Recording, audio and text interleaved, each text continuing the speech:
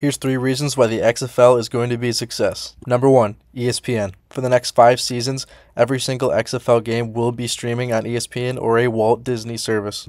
Number two, the XFL season is perfectly placed during the year. The NFL offseason is the longest offseason of any four major sports in America. The XFL season started in February and concludes at the end of May, which only leaves us with two months of no football. And the final reason, everything else the new rules, the feel good stories, small market teams, bunch of talent this league is going to work. Do you agree? Let us know.